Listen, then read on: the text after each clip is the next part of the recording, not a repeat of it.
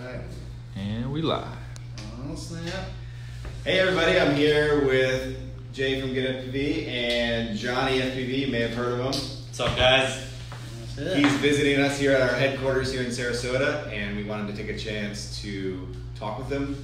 Maybe give you guys a chance to ask some questions, hang out with Johnny for a little bit, and we wanted to kind of just catch up with you, Johnny, see what's going on, share with your fans, some of the FPV people out there, kind of what's what's your life been like and what's exciting for you. I know you're working on a lot of projects, and we've seen a lot of amazing videos come out of you recently with some of your FPV skills showcasing, and we just want to talk about it and For sure. see what's going up.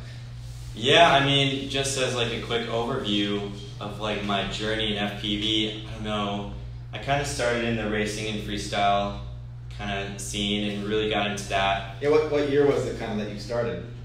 Oh, now I think around five years ago. So 2014, 15? Yeah, no, uh, twenty late or early 2015, so maybe four and a half years. Okay. In drone years, that's like a long time. Yeah. It's pretty, pretty It's long, pretty- pretty up there. It's pretty good. grandpa It's respectable. It's respectable. Um, yeah, I remember seeing Charpu, Charpu's videos way back in the day, and like the next day buying a little micro drone, and just getting sucked into the whole environment and the whole whole world of FPV. And Heck yeah. and uh, I think like a year after that, I found myself in Dubai, like for the, or maybe it was two years after that, found myself in Dubai for the World Drone Prix Right, yeah. and I was there for so long. I it was when I was a freshman in university, and I decided just to stop doing the whole school thing, which was a little bit of a full send, perhaps too much I of think, I think that's when I remember when I first kind of really heard about you flying because I remember you were in the freestyle competition, and I remember talking that you had been there practicing for a while to get ready for it, right? Yeah, yeah. I um, there was a company called Skydive Dubai, still a Yeah. big thing there, and uh, I became friends with the guy Jeremiah Fleming in the drone industry. He came out with this. He was one of the early kind of innovators, I Yeah, suppose you we carried we carried some of his frames and stuff back, Back in the day, It's the weird dihedral one that had a Yeah, little. the arms came up at an angle. It's pretty cool. Anyhow, I uh, joined his team in the World Drone Prix, and Skydive Dubai had some form of sponsorship in it. And uh, anyhow, I, I was out there. That was kind of the start of my perhaps professional journey, or more like time intensive journey, where I was really putting everything into FPV. And um, yeah, so I d- did the whole racing scene a little bit, got really into freestyle. You know, that's, I would say, my roots, making these funky videos, doing the whole juicy thing, that kind of the juicy style, um, and that whole like I don't know what you would want to call it, the whole flick thing, and creating that and seeing that evolve with other pilots, kind of uh, uh, contributing their own Yeah, that styles to style that you're talking about, I, I remember like before that was a thing because like it is it was kind of new when it first came out, Right. and you kind of pioneered that that kind of like it's almost like a smooth robotic feel. I don't know how to describe it exactly, but like you have very smooth tran- transitions, but then there's kind of like this. Just like just movement where you're going here, then all of a sudden you're going here, and then it's like smooth, and you're here, then you're smooth. Like how would you describe sure. it? What it is? Like what do you do? I would say it's it's kind of just like bouncing around Yeah. um, and it was it wasn't something I was really trying to do. Somehow I just had something that my hands wanted to, you know, have that weird movement or that cool movement. And uh, people, I think, really appreciate and enjoy seeing something new all the time. Any innovation, really in any industry, obviously, it kind of um, it can become a thing and uh, not a standard, but you know, whole a whole avenue on its own. So that was really freaking awesome to see people pick it up and really appreciate it. Yeah. And then, kind of, you know, I did that for a while, and I still freestyle. I say still my, my roots really, but I've my my whole thing in this space has been innovating and staying, trying to stay on top of um, the evolution of it. So evolving from like racing, freestyle to more cinematography now, and uh, really chasing that new that new thing and really going after it. And um, that's that's my obsession now. Just trying to do something new and fresh in a way that's still tied back to the FPV roots and Yeah. um, yeah, that's kind of that's why I find myself more doing a lot of filming now because you get to integrate all these incredible people doing their expertises. So these crazy athletes doing performing at their highest level and trying to capture them in that new way and and like seeing the reactions of these people the whether it's the athletes or the, the production, the people who uh, might be organizing the thing, they they're amazed by it. So that that's really special for me to see because it's obviously it's something I've really dedicated my entire existence to for the last five years. So um, yeah, it's, again, it's always evolving. I mean, for us watching on the outside, following you, you know, on your Instagram and everything, it's been really exciting because it's like you get to live vicariously a little bit through Johnny and his Yeah. his adventures. But it's been cool that you've been able to kind of bust outside of just the smaller FPV community that we are. That you're getting to to meet like at the celebrity level in some cases, even you know where you're you're getting to share what we love with with people that haven't seen it before, and then like like you said, like you could show them what you can do with it and how it's just mind blowing for them the first time to see it. And that's so cool to, to get it out to that audience that's never seen it before. And then it gives you, or that platform that you can really push it out to. We can really spread what we love of FPV to so many people that have no idea that it even exists, right? Unless you see a video like, like that you post, or you get to fly with like Will Smith, or like you say, some of the professional athletes that you've been with. Yeah. If, if you were to pick something this last year, like what was what was one of the more favorite events that you've got to be a part of? Yeah, the, the my favorite one from like a flying standpoint is probably the most controversial. It was in South Africa, um, filming wildlife. Yeah, you know, kind of safari and uh, it was like Oh, a private yeah. uh, Yeah. reserve or It was a private reserve, and it, it's a obviously it's a very controversial thing. But I just wanted to quickly bring it up because it it's like it was one of the most incredible things I've ever experienced, seeing those those animals in person. Um, but the, again, very controversial. So it's not something I'll pursue heavily, Yeah. as uh, yeah, uh, those animals are obviously very endangered, and it, it, at the same time, it was a mission to raise awareness about them. But seeing that, that whole country, South Africa, and the city of Cape Town, um, one of the most like diverse and interesting places I've ever been, and I know um, there's some FPV pilots down there too. That's cool. it's pretty popular. It's amazing to see how worldwide FPV has become, yeah. and ultimately, I think we have like social media to thank for that, and all these you know new avenues to share video. Um, but yeah, I mean that, that's one of my favorite parts of this entire thing. Everything is connected, so you can, whether it's networking with people or connecting on a personal level, professional level, the tools that we have now are so advanced and so capable.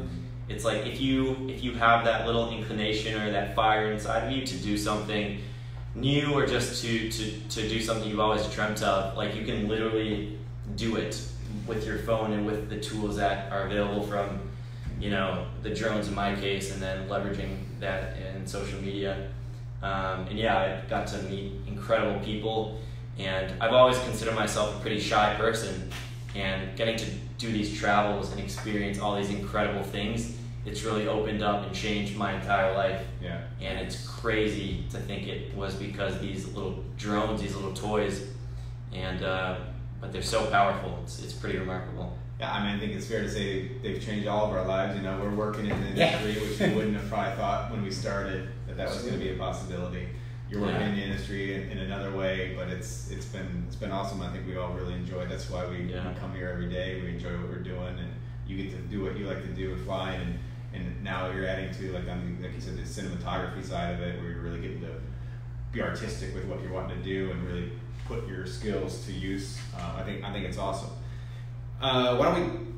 I guess oh, one one thought I had was for a, for a new pilot, someone who's getting started in FPV, or who's been flying just for a little bit and maybe he's running into a wall. I guess what was some advice would you? Like they they know they want to do it, like they it's, Right. it's fun for them, but they're trying to figure out like how do I get to the next level? What, what would be something you might might tell them that's helped you in the past? Yeah, I've always kind of been. Uh, I like the the grassroots aspect because it forces you to learn all the intricacies of building, operating in that entire uh, world. So my, my my first piece of advice is just like binge watch YouTube videos on this topic. Yeah. So whether it's a building video, just flight videos, immerse yourself in it. It's like an information dump kind of just Yeah, just take it all in, and if you're still, you know, loving it or obsessed with it and wanting more, then you know, like, you're gonna you're gonna want to spend the time when it gets to the maybe slightly more difficult things, building Yeah. building your first drone. I remember it was now there's a lot more information, so it's not quite as difficult. Mhm. But four years ago, I remember spending a whole week with my dad trying to set up a flight controller. And it was um, I think we, we stuck to it because we're both um, um, quite hands-on. We like RC things like cars back in the day airplanes. So that was helpful for me. But um, yeah, just immerse your, immersing yourself in it. That'll quickly tell you how how much you enjoy it, how much you care about it, and then uh, hopefully hands on, you could not or you can pursue it and you know enjoy the, the, the challenges, and that that'll really help you in the long run from like yeah every aspect of building and Yeah. all For that. me, I, I kind of remember distinctly, not not looking back, it feels more distinct, but like these a few humps that you get over, and once you get over those, it just opens up a whole new door of Yeah. possibilities. The first was For like sure. learning what the stuff is and how to build it confidently, and once you get past that point, it, it just makes it feel so much more clear, like how to troubleshoot an issue. You feel more confident in your drone because you know you can repair it if you, if you need to later on. Absolutely. Uh, you don't feel so like just locked in by like oh if, if I crash I'm, I'm not going to be able to Yeah. get fly again. So that was one part I remember getting over, and the other one just, that this takes practice as well is, is the flying part. When you get past that curve of where you're thinking of what to do all the time, right? Right. And it's just more of you're doing what you're wanting to do in your head, but you're not having to think uh, stick left up, you know, and you're Oh, really 100%. Yep. It just that just takes time that that practice to Yeah. get there. But I think once you get past that curve, and then you can start expressing if it's freestyle that you want to do, if it's racing that you want to do, but you can really start hitting your goals that you know in your head you you know how you want to fly probably, but you're limited by maybe what your fingers can do and uh, what you're capable of in the beginning. But once you get past that curve, and then it's just your expression of what you're wanting to do, you do it in the air. I think that was really opening for me. And I, I mean, I'm still even learning. I haven't flown as much as I used to, but I remember that in the beginning of Yeah. getting past that point. And then it, it made flying feel way different than in the beginning, where you're just trying to fly. Yeah, I remember that one of the key things that I didn't do it on purpose, um, really, but one of the key things that really allowed me to expand on my flying skills and whatnot was flying in really tight areas. So I remember just my little backyard uh, back home. I remember your videos. I was always like, "How's he flying there?" Yeah, but just forcing yourself to fly in these tiny, tight areas, I think it um, just gave me a really pretty good sense overall of control feel. Yeah. So like Um, pushing your limits beyond what you're comfortable with. Absolutely, but Yeah. doing doing it from the start, so it's kind of ingrained in your in your ability, I suppose. And uh, yeah, forcing yourself to do these kind of wacky maneuvers around things. And that, that probably is why I somehow developed the kind of the juicy style. Uh-huh. It was definitely from those tight, you know, tree tree dense areas. And um, so that's always like one of my recommendations to people. Um, force yourself to, to be uncomfortable. Uh, really, in any in any industry, forcing yourself to try new things and be uncomfortable. That's how you learn, and that's how you get really good at something. So That's solid I don't know. advice. Yeah, yeah, That's solid advice for anything. yeah, Anything. absolutely. Anything. Yeah, but Um, so I mean, we do have a couple questions rolling on in. If you feel Nice. like uh, getting on a couple, but Jake out there in Montana, I think it's Montana. How long did it take to get the smooths? the I smooths. think he's talking about the juice. Um, over time, man, like I so now I look back on some of my older videos that I remember kind of defined what I was doing. Now I kind of cringe at them, but so it's really funny the evolution of um, what you know myself or anyone else perceives as uh, a high level or interesting or cool. Um, but I, don't know, just like always trying it and. I, I, one of the things was also I, I'm a huge perfectionist, so I, I always try and one up myself. And having that fire uh, in your intention and whatnot, and forcing yourself to try and achieve those, you know, just take it up each notch each time. Yeah, Um, that really forces yourself to just improve, and it's probably I agree. One big thing that always helped me was like never be afraid to fail. oh, Like, absolutely, I think that's that's a big one. yeah, Yeah, I, I always get the best flights when I get to the point where I'm just, I'm like, I don't care anymore almost. Overly confident Yeah. on Kinda, I mean, there's a balance, but like, there's been a few where it's like, I don't care if I break the squat at this point, and I, just, I just go for it, and then I'm like, wow, why didn't I do that in the beginning? oh, Yeah. The footage is so much better. Yeah. I mean, it's a risk that you, you, you take, but sometimes the payoff is worth it. Yeah. You, to push it a little harder than you feel comfortable with. yeah, You know, be safe when you're doing it, of course, but uh, yeah. Those angry lipos. Yeah. Yes. We, we have a question from uh, Ryan Lindsay. She, she says, "What country would you like to visit and fly that you haven't yet?" And she also asked, "Do you edit your own videos?" So that's the second question. Yeah. What's the country? Um, I really like the crazy kind of ancient cities. So anything where there's a natural, whether it's like a, a man-made thing, but you know, old school. Um, so recently, I did a crazy thing in Guatemala where we trekked to these ancient Mayan pyramids, and but something I want to do or a country, um, maybe like a Morocco or something That'd be cool. like Morocco, like yeah, like or a. Morocco would be sick. Um, Stu's been to Morocco. yeah, You lived there. Carragher. some connections, It's- yeah. Stu, tell us about Morocco. It's beautiful. Yeah, I think Yeah, it's man. really difficult to get a drone there. Bravo. So we might need to Oh, find yeah. some people who can pull, pull a couple strings, but um, Just mail in one part a week. yeah. But any honestly, anywhere where there's like a nice sunset, like it's awesome. Just flying in in really beautiful lighting, I really enjoy that. Um, but yeah, like in Morocco, and then The follow up was, uh, uh, do you edit your own videos? Yeah, I, I edit all my um, all my recent stuff. There is so that beautiful the one in Turkey. It was um, the guys who did that trip, Beautiful Destinations. They they helped edit that one, and then I'm trying. So one of my issues is actually I'm too much of a perfectionist. So trying to one up yourself can also be extremely toxic because you you don't let yourself uh, fail, I guess, and you or you maybe you do, but you don't like to show that. So I'm trying to get to a point where I can um, get more efficient with the editing and just put out more fun, you know, back back to the roots a little bit, just Yeah. enjoying it. Well, still up, upholding like awesome, awesome stuff, but Yeah. that's that's something I'm working on for sure. One thing I took from uh, I watched a lot of like Peter McKinnon and like a lot of those video editors and stuff, but one was like talking about exactly like that. Not not like a, a writer's block thing, but not wanting to put out something that you feel is not perfect. Sure. But kind of sounds crappy because I had like a child teacher that said, "Don't say this, but be okay with good enough sometimes." For sure, for sure. Sometimes ninety percent is all you can get, and that's better than hundred percent because you'll never put it out. You won't ever get to hundred. Yeah. So yeah, yeah, it's an evolving process, but Uh, pinch or thumbs, I'm gonna ask. I use thumbs. Um, it's I think it. I don't think there's any real advantage to either. I think it's whatever you start with. There's no need to try or do a different one.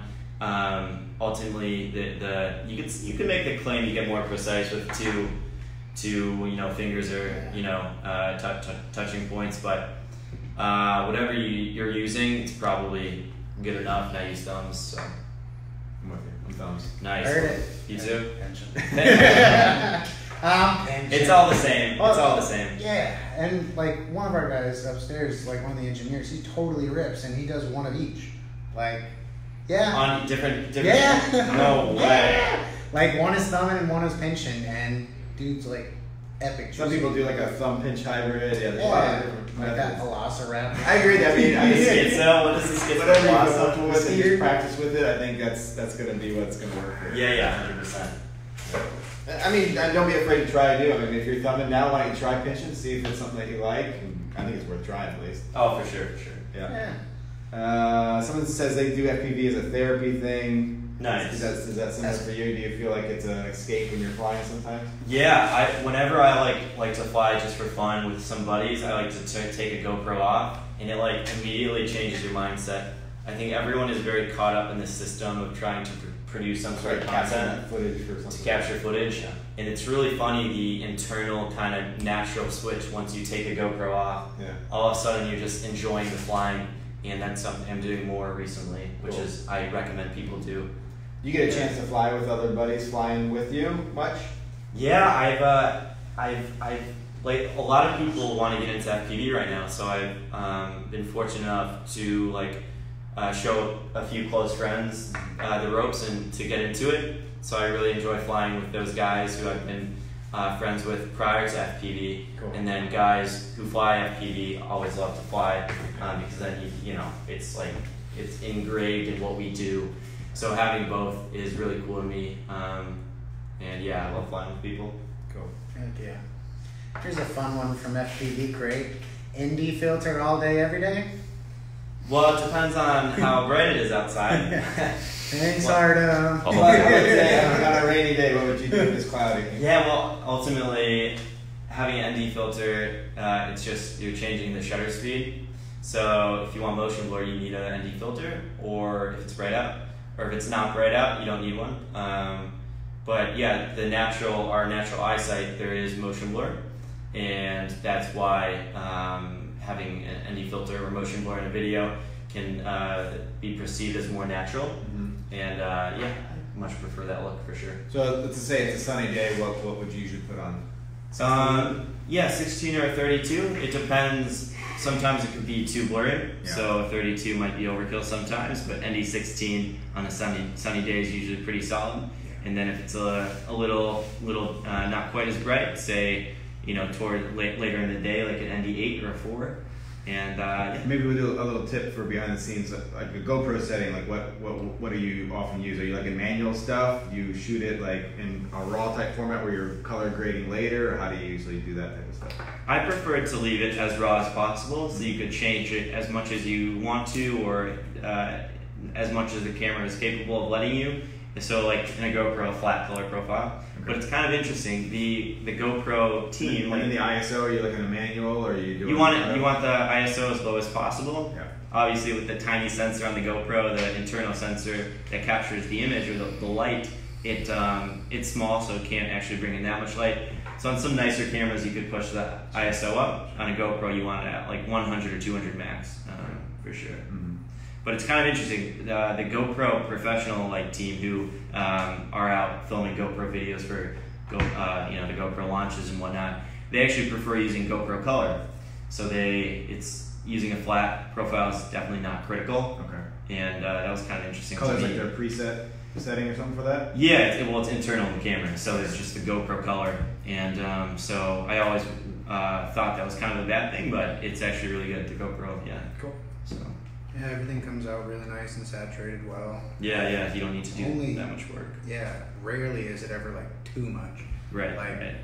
I remember it was St. Patty's Day. I flew over a Green River, and it was just I flew on GoPro color, and it was totally like the lime green of that leveler.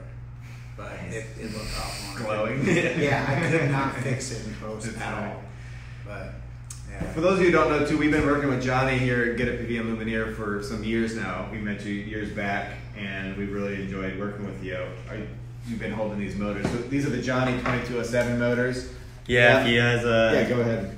if you guys don't know, we have uh, these came out. Um, well, these are the V2s, but about a year ago, and they're the motors I fly. They're in collaboration with Lumenier and Get FPV, and uh, they're really awesome.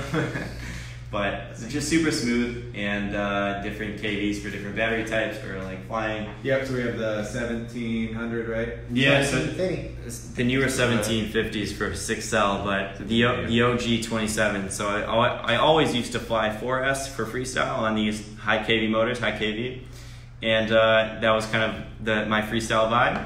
And now I'm using these a lot, but on 5 cell, so it ends up being actually more powerful than these guys, and um, but the lower KV helps it not be too too crazy. But uh, yeah, so I'm normally on 5 cell now, which is awesome. Yeah, I think those ones would be good for a 6 This yeah, this is the 6S motor. So when I do some of my filming, when I need more flight time or efficiency, 6S. This is uh, my motor on one of my setups, which is really nice. And And of course, we got the Johnny, the Johnny props. These are the Azure Power ones. You may have seen them. We carry them here at Get FPV. and they, these And motors, they're great, but these propellers are um, they kind of have a very smooth and docile feel. yeah. So for flying smooth, they're really great. And uh, so for smoother freestyle or filming, they are uh, really, really good. Um, and they're in collaboration with Azure, and they got a nice little juicy sticker in there. Whoa, get that juice. It's pretty sweet. Pretty And sweet, We yeah. had this in front of us too. This you guys Oh, can yeah, see yeah. this the DJI system here. So this is the new digital HD system, goggles, uh, radio controller. I don't know if you guys all saw the promo video when DJI first released it, and announced it, but Johnny was actually in that video. He flew the system for them, and they demo used some of his footage, and, and they used him in, in the video, which was really cool. Yeah, I just want to get maybe your quick take on the system and what your involvement was with DJI, how that went. For sure. So I um, they con- DJI hit me up uh, a few minutes or a few about a month prior to the launch, and they let me know about the new system, and they wanted to um, have me come out to Iceland and test it. And um, I mean, aesthetically, it's like a fighter jet pilot mask, kind of kind of badass. It doesn't fit that perfectly on the face, but with some like foam inserts, it's probably it could probably get to that you know that perfect uh, feel. But I know it's once you're flying, you kind of forget about it though. Yeah, hundred percent. It's the flying experience is pretty remarkable. It's it's like so FPV in general is a very visual thing, but having in the, the videos obviously are all about the visual and how you capture footage. But when you're flying via analog, you kind of forget that. And so flying this in Iceland for the first time, it was probably the most fun I had flying in um, in literally years Yeah. and it was I was just absorbing so much information. It was like an overload of like pure bliss. It was uh, pretty remarkable, and um, yeah, that, I mean it's in 720, but because the the screens in here are so sharp, it literally looks like 4K coming from analog, and it's I don't know how much you used it, but it was. Jay and I got to demo it yeah, a couple weeks back when we first got it. We flew it just around the park, and uh, it was a cool experience. I mean, we were both kind of cruising pretty chill, but Yeah. we weren't thinking about flying hard. We were just like, you know, exploring because it was Yeah. cool Yeah. to look around. You're going, we were going through the trees. You could see all, you could see all the Walking up the moss and dead branches that you would 100%. never see before, which, which Yeah. was just kind of. It was a new way to fly, so it just felt like you're learning, kind of, not quite learning, but it was a whole new experience. Right. And I, I just like how they're trying to make it simple for people. So obviously the biggest thing, the biggest barrier of FPV is it's very complex, especially if you don't know, if you haven't, you know, done it. Yeah, when you've been at it for a while, you kind of forget that first little learning curve and Yeah. hump. I feel like For and, sure. And it is, you see it, you're like, that's awesome. I want to do it, and then you start researching. You're like, oh wait, what do I have to do? Right. and it's, Where do a, I it's a barrier, right, to get in. It's a barrier, and that, that's one reason I really appreciate what DJI is trying to do here and where, where they're moving towards. And I, I don't know if they'll ever come out with a, a full on drone, but just from like a building standpoint, it helps save a little bit of time, Sure. and uh, that aspect is always important to me. But Yeah, for those who don't know, the air units here, they have the HD camera here as well. And then the air unit additionally can record video on an SD card. So it does 1080p recording from this camera. It also can do the control link to your radio all in the same box, as well as the video transmission going to the goggle. So it, it kind of takes care of your camera, your VTX, and your radio receiver all in one. If you were to compare it to what the analog system would have to do to also transmit video and control your drone. right, So it, it is nice from that standpoint because it, it kind of combines it all into this one system. yeah, So I agree with you there. Um, we're actually been working with Johnny and, and we'll probably be making something available soon of an RTF, one of one of our Illuminator frames pre-built with this system in there. So if you're wanting to try HDFPV and maybe you're not wanting to build or you're not quite sure of how to get started, the system is going to give you like everything you need out of the box to fly HDFPV um, by just pretty much arming it and, and learning, you know. So Yep. that, that'll be pretty cool. You, I mean, you've told us all the time, of course, with the audience that you're, you've been building now. A lot of them haven't seen FPV yet before. yeah. So right. they're asking you all the time, like, hey, what should I get? How do I, how do I start? Yeah, I, I literally never know. Literally, I, yeah, I, never know what to tell people who want to get into FPV because I just I refer. I tell them go binge watch some videos and absorb it all, but that's not a very practical step. And so one of my biggest goals, and you know, since since qu- uh, probably a year ago, with alongside these videos I, I do, is to try and let the person who sees the footage thinks it's really interesting, thinks get you know gets really hyped on it.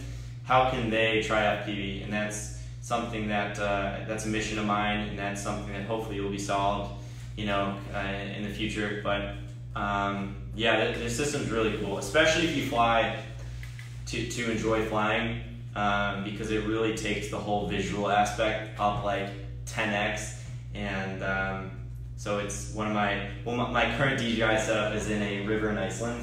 I I, I, I crashed. I crashed into a fence and it like ricocheted the drone in, the, in this weird direction. Ended up in a river right where it like breaks and there's a little waterfall going into it.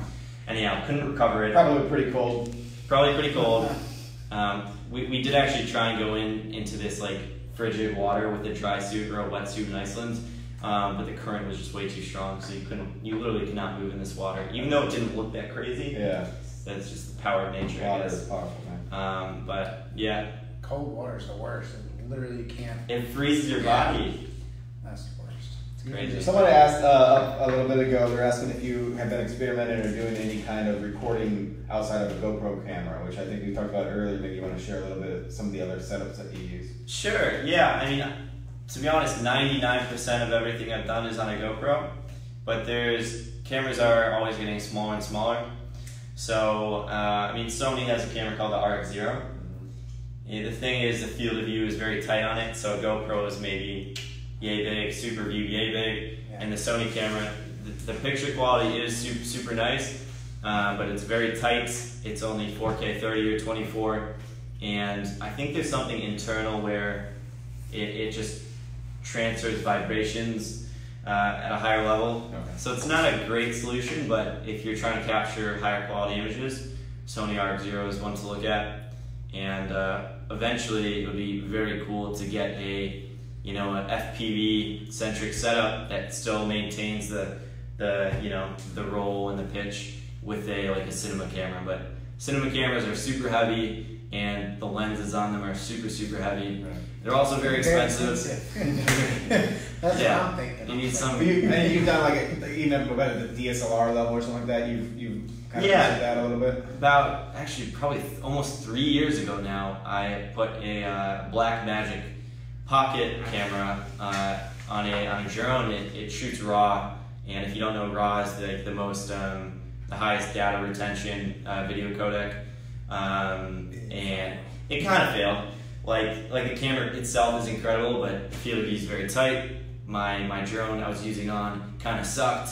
But uh, so now I'm starting to experiment with that again and trying to bring some higher quality images uh, into FPV. So that's a fun project, but still ongoing. Yeah, and you're get, now you're you're exploring more too. I, I know five inch is probably like your core rig that you fly a lot. Yeah, yeah. You're doing smaller stuff and bigger stuff depending on the situation. Yeah. So you've flown some three inch I've seen like on some tighter shots that you need prop guards to be a little safer Yeah. with where you're flying or whatever it is. Can you talk about that a little bit? sure. Yeah. Yeah. I mean, safety of course is super important. So uh, you never want to like try and get super close to a subject or someone you're filming without prop guards. So I've um, there's I have a, a, a three inch setup that has the guards on it. Uh-huh. Pretty sure it's by Shen Drones and uh, The squirt, I think. the Squirt. Yeah. Do you guys do you sell You Squirt? do, yeah. with V2 It's available on GetFPV's website. And use that code Here's Johnny for a Here's ten percent Johnny. off. Oh yeah, if you guys are looking to get some hot new FPV gear, there's uh, I think these guys set up a uh, cool uh, coupon code for today. Yeah, today only.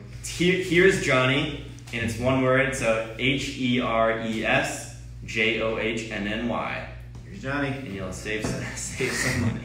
And you just scroll on up, Um, way up there somewhere. But yeah, the recent video I, I did a video with Audi and or Audi, um, where we, we I brought in a uh, freestyle uh, soccer player. So the, the, there's these crazy guys out there who have like the foot Yeah, skills. they like juggle like forever, basically. They juggle, but in the most insane way. Yeah. Like it, it's just Break like dancing, soccer, something hybrid. Break. That's a that's a good. Um, it's it's really incredible though. But I took a three inch drone, three inch Shen drone, and did basically freestyle with the freestyle uh, soccer player, and the result was pretty pretty epic. So um, yeah, there's all these different ways you can innovate with FPV because it's so dynamic. You just need to try new things, and um, that was kind of a risk going in. We didn't know if it would be cool, and it turned out incredible. Yeah. So that that's part of like innovating, and you, sometimes it'll fail, sometimes it'll work, but. Yeah. You want to talk about anything that you have coming up that you're excited about? Maybe people can be on the lookout for. Sure. I mean, I'm doing a lot of car stuff, so um, I, I have like so much footage saved up, and I kind of I'm kind of you know, hating myself right now for not getting getting it out on time, like right when I put it on Instagram or something.